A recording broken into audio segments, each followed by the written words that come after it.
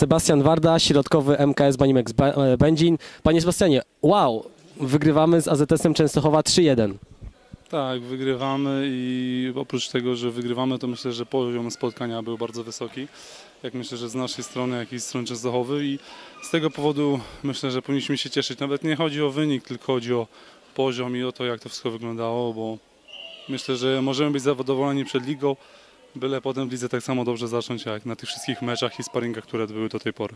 Jasne. E, Był pan wyróżniającym się zawodnikiem. Bardzo dużo ataków, sporo bloków i przede wszystkim meczowa piłka krótka, e, skończona. Jakie to uczucie mieć w powietrzu taką piłkę na wagę zwycięstwa z AZS-em z Częstochowy? Yy, Szczerze powiedziawszy, to ja wolę mieć takie piłki, bo ja nie lubię patrzeć, wolę robić, więc mi się lepiej jest na boisku, jak jest końcówka, niż z boku, bo się bardziej denerwuję. Czy byłem wyróżniającym się zawodnikiem? Nie, też dużo błędów dzisiaj popełniłem i taki dzień był też troszeczkę um, dziwny, taki nie wiem czy ciśnienie, ale, ale mówię, ale mimo wszystko zagraliśmy naprawdę fajne spotkanie i, i jestem bardzo z tego zadowolony. Witamy w Będzinie. Witam. E, Chciałem zapytać, jak się panu grało z nowym zespołem MKS-u? Co można powiedzieć? No, dzisiaj mecz y, nie stał może na wysokim poziomie.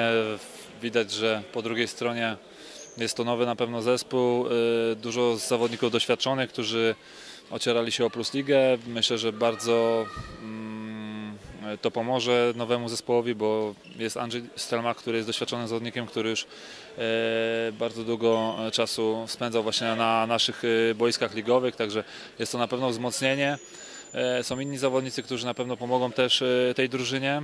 A co mogę powiedzieć o meczu? No, przegrany dzisiaj mecz, e, jest to sparring.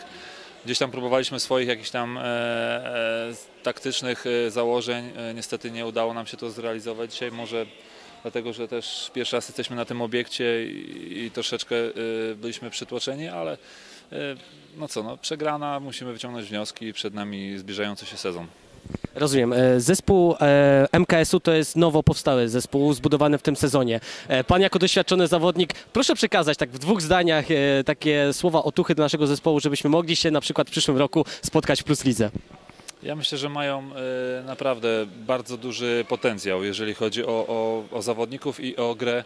Myślę, że mają dobrego trenera, który chyba to dobrze poukładał i, i na, pewno, na pewno to przyniesie efekt. Ja e, wierzę w to i, i, i życzę na pewno zawodnikom e, z Będzina, żeby, żeby byli w pierwszej czwórce. Myślę, że to będzie e, sukces dla tego zespołu.